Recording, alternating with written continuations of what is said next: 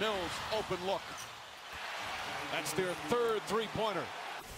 Well, Splitter slips the pick and roll and then just touches it across the court on target to Patty Mills. Beautiful spacing by San Antonio.